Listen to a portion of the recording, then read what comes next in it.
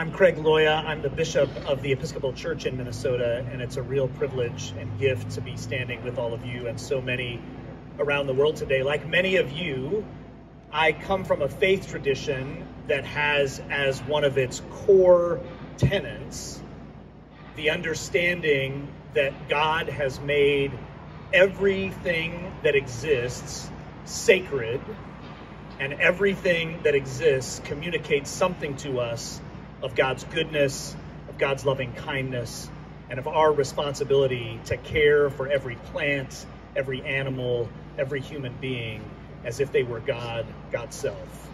And like many of your other faith traditions, though mine has been particularly complicit over history in abdicating that responsibility, and in fact, doing more to be complicit in denigrating the creation that we were charged with caring for.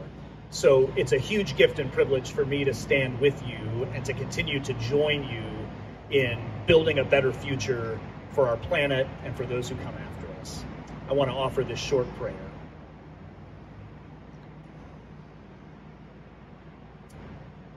God of endless love and mercy and kindness, you have called us to care for, to tend, and to nurture the world that you have made and that you have given to us to be stewards.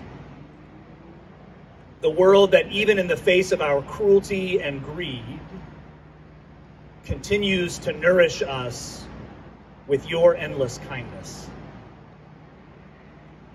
We repent of the greed and the short sightedness and the selfishness that has caused us to denigrate the sacred world that you have given us. Help us as we stand here with all those who stand with us around the world to commit to joining you in building a better future, in claiming the sacred trust that you have given to all human beings to tend the world you have made. Give wisdom to the leaders of this nation and to leaders around the world to work together for large scale systemic change that has become urgent for us to save this planet for those who will inherit it after us.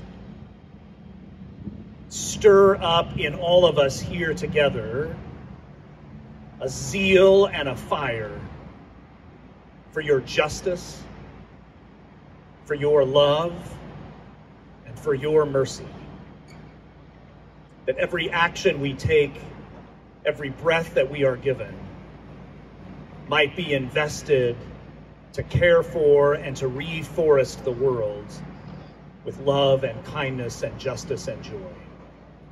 For the sake of your name, amen.